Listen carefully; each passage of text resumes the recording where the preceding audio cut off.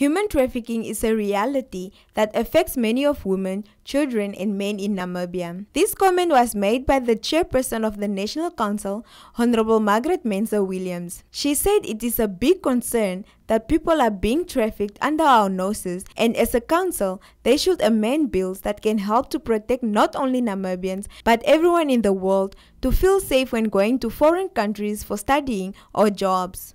Through the review and passing of this bill, we will have, we would give government the tools it needs to protect and prosecute the criminals who profit from exploiting others. Honorable members, this bill has got some flaws.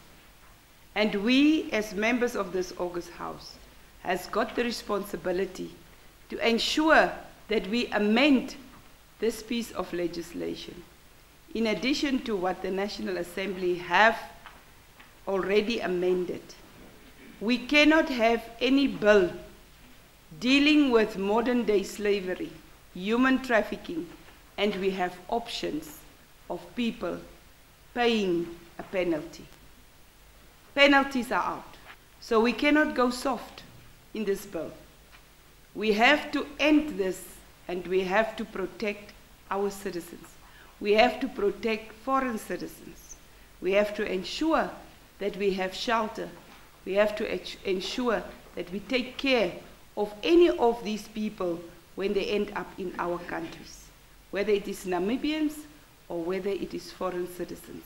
Mensah Williams said Namibia is both a destination and an exporter of victims of trafficking in persons. Making references to a story recently aired on One Africa television, It's a Wrap show that told the heartbreaking story of a Kenyan woman who was trafficked into Namibia for sexual exploitation, and about another incident whereby a Namibian woman was sold by her uncle to traffickers in the UK. A local television station recently aired the heartbreaking story of a Kenyan woman who was trafficked into Namibia for sexual exploitation.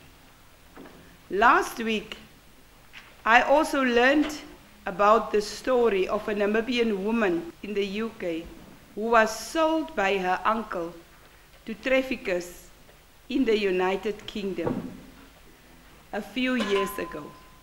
Firstly, she was sold to somebody in South Africa. And then from South Africa, she was trafficked to Italy. She contracted HIV AIDS virus. And she's still in the UK right now, fighting for her life. It was a heartbreaking story when we were told that she was indeed, through trafficking, infected with the HIV AIDS the National Council will early next year embark upon creating public awareness on the issue through its current programs.